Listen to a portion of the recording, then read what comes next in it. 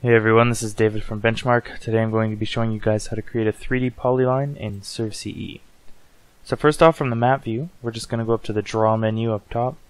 Then we're going to click on polyline and then 3D. Now what we're going to do is select these two vertices here at the end of my lines. I can snap to or use the center using all those options up top. And then I'm just going to hit the enter button and then there you go. My polyline is created. That's all for today. If you have any questions, feel free to give us a call at 1 888 286 3204 or visit our website at www.bench-mark.ca. Thanks for watching. Have a great day.